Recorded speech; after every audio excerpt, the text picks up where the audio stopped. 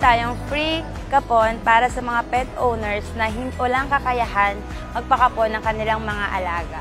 Kaya tayo nagkaroon ng ganitong programa kasi sinusuportahan natin yung mga taong walang kakayahang magpakapon sa mga pets nila at ayaw na nilang dumami ang mga ito.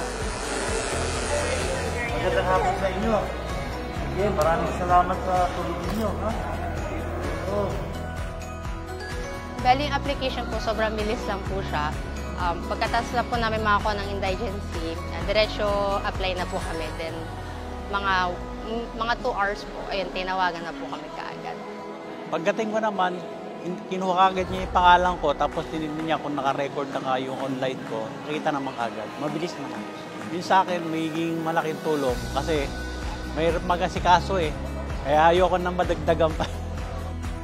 Mas okay po siya kasi since mas save po siya ng budget, instead na sa fee ng pagpapakapon, sa food na lang po namin siya makaalat.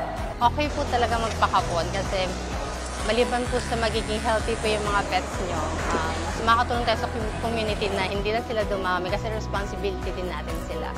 Masasabi ko lang ah, dapat maging responsible tayo sa mga alaga natin. Lalo na itong mga pusa, ang bilis dumami. Tapos makikita mo, nagkalat lang sa karsada.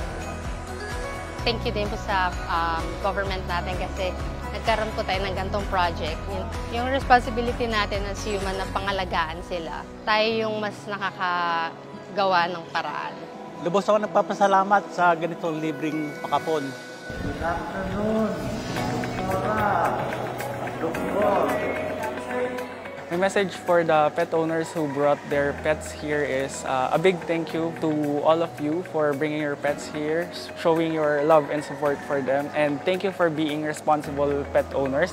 A big thank you to the municipal government of San Mateo Rizal for uh, conducting this program. And I hope this will not be the last program you will conduct for your pets.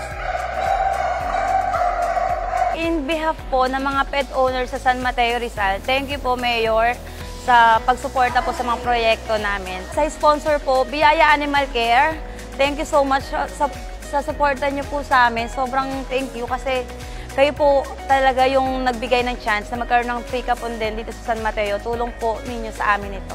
Salamat.